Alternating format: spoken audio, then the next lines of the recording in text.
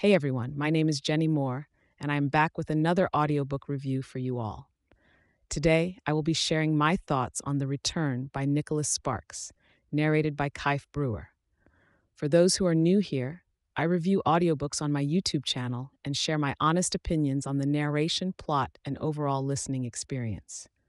So if you love audiobooks as much as I do, make sure to hit that subscribe button and turn on notifications so you don't miss any of my reviews. Now let's dive into The Return. Nicholas Sparks is a well known author in the romance genre, with many of his books being adapted into popular movies.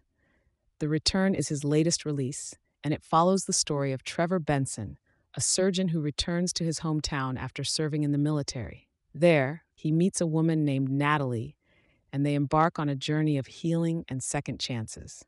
Kyf Brewer's narration was superb. He has a deep, soothing voice that perfectly captured the emotions of the characters. His pacing was also on point, making it easy to follow along with the story.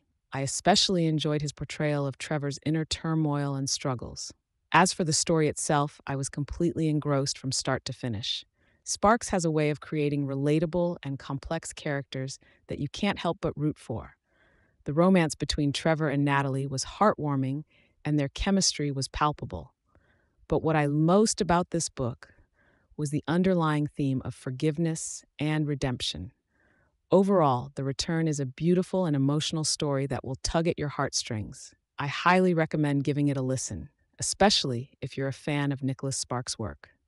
And for those who are interested, the link to the full audiobook is pinned in the first comment below. Thank you all for watching, and I'll see you in my next review.